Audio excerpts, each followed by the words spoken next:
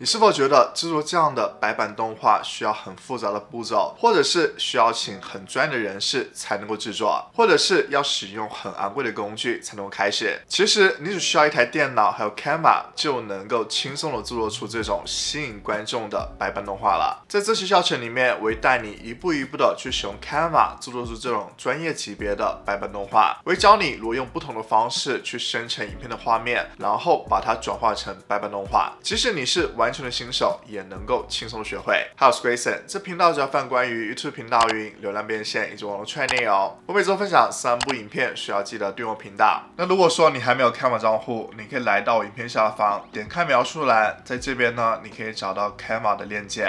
那这个链接呢，会赠送给你 c a r p o 的三十天的免费试用。那 Canva 呢是有免费版本的，但是我们今天会使用到 Canva 里面的一个工具，它需要你升级到 c a r p o 才能够使用的。所以呢，我建议大家可以使用我的链接去开始免费的试用三十天，去看一下整体效果是不是你想要的。现在呢，我进入到 Canva 的首页上面了。我们需要首先选择一个文档类别。我现在需要做的就是常规的 YouTube 影片，所以呢，我可以选择影片。在这边呢，我选了这个一九二零像素乘以零八零像素。那现在呢，我就进入到了 Canva 的影片编辑界面了。接下来呢，我们就要开始制作我们的影片画面了。通常来说，白板动画的画面呢，都是手绘的画面。所以呢，我可以首先教大家第一种方式去找到一些手绘的元素。那这边我的影片的主题是让儿童快速的学会英文单字、英文字母。我可以先选择文字选项，在这边选择新增文字方块。英文第一个字母是 A，调节它大小。然后呢，给它加粗，然后呢，给一个单词叫 apple。接下来呢，在右边我需要加入一个苹果，它的手绘元素，选元素，然后呢，我们就输入关键字，这边选图像，那你就可以看到有很多关于苹果的手绘图形了。你可以选择黑白的或者彩色的都可以。那比如说可以选择彩色的，调整它大小。那我们第一个画面呢就做完了，在底下呢选新增页面。那这边这个单字呢是球，我需要找到关于球的素材，我选这个。那第三个呢是关于猫的手绘，我可以选这个猫。那下来呢，我们就制作好了三个画面了。接下来呢，要把它先变成一个图片的形式，之后呢，再转换成一个白板动画。那这边呢，你有种方式就是，你可以直接右上角分享，然后呢，选择下载。这边呢，需要更换档案的类型，不是 MP4 影片格式，而是呢，一定要去采用 PNG 的档案格式。选择所有你想要去下载的页面，然后就可以下载了。那还有另外一种方式，就是呢，我们并不需要去下载，然后再导入，可以直接来到应用程序这边，你搜索 Design to Image，然后找到这个应用程序，这边呢选这个 Convert Image，选 PNG 档案格式，这边呢选择所有的页面，然后导出。那这边有提示我呢，它只能够让我每一次导出一个画面，所以呢，我只能够先导出一个画面先。那这边呢，我需要首先去新增画面，在这边 Add Current Image，那这个呢就是变成图片了。然后选择右击，将图片设为背景。接着呢是第二页，然后呢是第三页。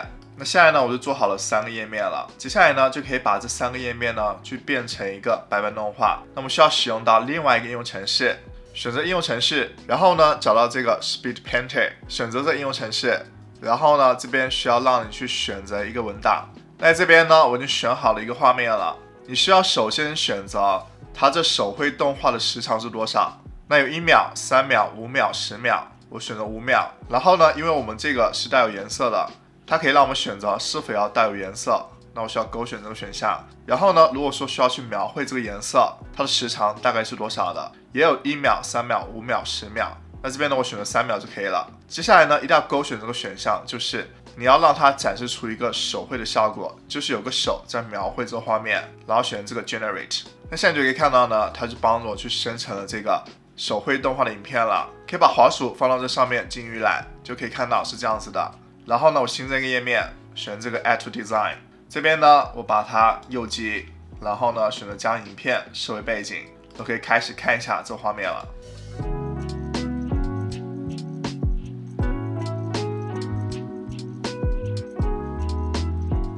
那就可以看到就是这样的效果了。那会觉得呢，时间比较长，我可以重新调整一下。比如说变成三秒钟，然后选择这个 generate。那现在呢是一个更短时间的影片，来看一下。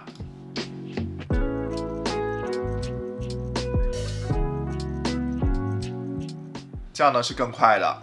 然后呢，同样的方式可以把接下来的画面变成手绘的动画，描绘时间也是三秒，然后填色的时间也是三秒，这两个设置都打开，选 Generate。那这是第二个画面，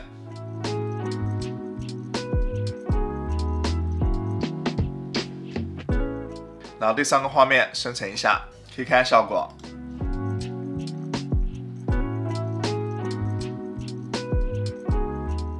现在呢，三个画面的手绘动画都做好了。那这个 Speed Painter 它是需要你升到 Capo 才能够使用的。如果说你还不是 Capo 的用户，你可以透过影片下方链接去获得 Capo 的三十天免费试用，去尝试一下这个功能。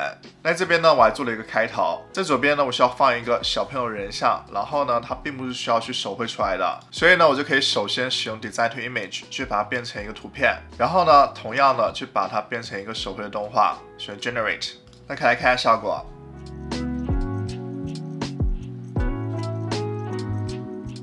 然后呢，我加入了一个小女孩的动态元素，可以来看一下。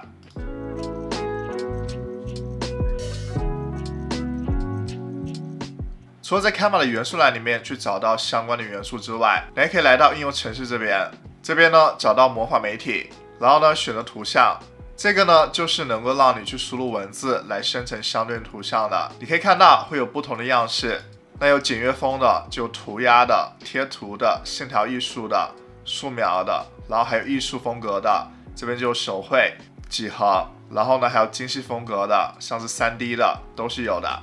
那比如说我输入一个文字是一个粉色系的杯子蛋糕，这边呢选产生图像。那你可以看到，因为我是 ColorPod 的用户，那我每个月呢是能够有五百点点数的，它的点数呢每个月都会重置。这边呢选产生图像，那你可以看到呢就生成了四个这个粉色杯子蛋糕了。那底下呢我是可以调整样式的，比如说我要素描系的。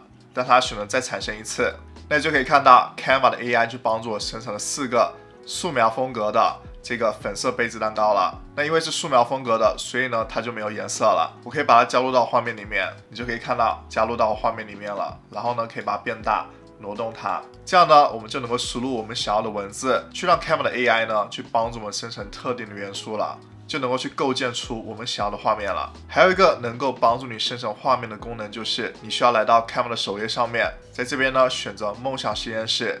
那它呢也是能够让你去输入文字去生成图像的。那这些呢都是它根据文字去生成图像的。你可以选择这个聪明，它其实呢就是让你去选择样式。那比如说我可以选择这个插图，然后呢我可以使用它的这个文字描述，你就可以看到这个画面的文字描述就出来了。在这边呢，你是能够调整宽高比的。那 YouTube 影片的格式呢，就十六比九的。如果说你要去制作成竖屏的九比十六，你就可以调整成这个竖屏的。然后呢，就可以选择建立了。那这边你就可以看到，它就帮助我去根据这个文字去生成了四张插画的图片了。我可以点开来看一下，你可以看到非常的精美。那如果说你想利用这个图片的话，你可以在这边去选择这个在设计中编辑。然后呢，再使用 Speed Painter 去把它变成一个手绘动画的形式就可以了。像你学会用 Canva 来做出白板动画了，你可以透过影片下方链接去开始使用 Canva，并且获得 ColorPod 三十天的免费试用。如果想了解更多关于 Canva 教程，你可以点这播放列表。如果你觉得这期片对你有帮助，希望这部影片点个赞，一定要记得订阅我频道，了解更多关于 Canva 内容，追踪 IG，能够和你更多互动。那我们下期片见，拜拜。